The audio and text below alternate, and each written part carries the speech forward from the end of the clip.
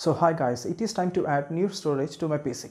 So I went ahead and bought this Seagate Barracuda 3, 2 TB 3.5 inches internal hard disk which runs at around 5400 RPM.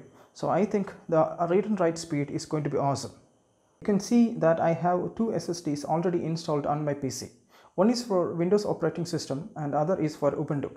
So the new 2 TB internal mechanical hard disk that I'm going to add to my PC is going to be common to both Windows and Ubuntu operating system.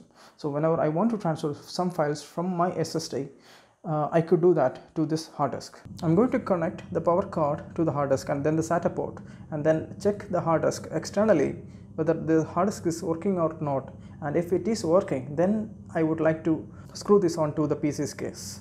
So let's go ahead and connect the SATA port to the hard disk then the power cord to the hard disk. So let me place this firmly on the table. So let me power up my PC now. I'm, I'm going to boot into Ubuntu first.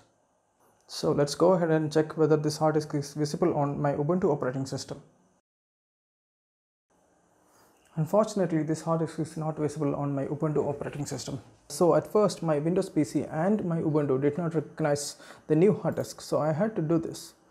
Right click my computer, click on manage, click on storage, disk management and um, there is this prompt initialize disk. Um, so I'm gonna cancel this. So I could see that my new hard disk 2 TB is actually listed here. So let me go ahead and click this. Right click and uh, now I understand that I need to initialize this disk. You must initialize a disk before logical disk manager can access it. So select disk, disk 1, use the following partition style for the selected disk.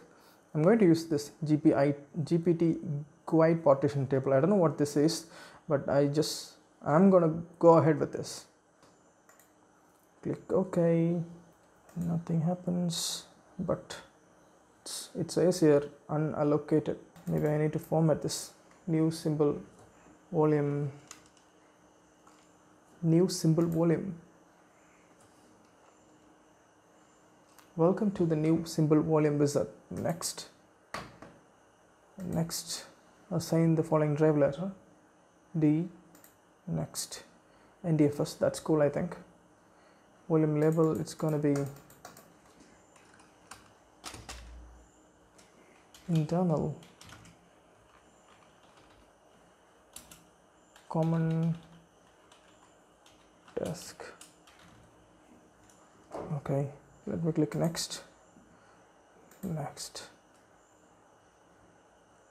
Now this formats my new hard disk. Now I could see my new internal hard disk uh, listed on my this PC um, so let me go ahead and open this common disk and let me paste a file into the here. So let us put into the Ubuntu operating system and see whether we could access this file from Ubuntu. So now we are in the Ubuntu operating system. Let me go ahead and open my home folder and go into other locations you can see that this internal hard disk is listed here. And the file we copied from Windows could be accessed from here. So this is very cool. So now we know that this hard disk is working. And I have switched my PC off. Now let me unplug all these cables.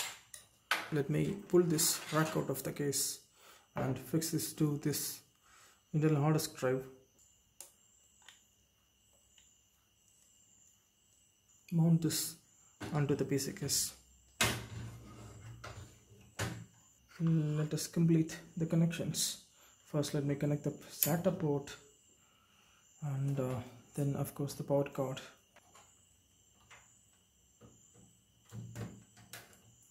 now I think everything is complete. Let me close this up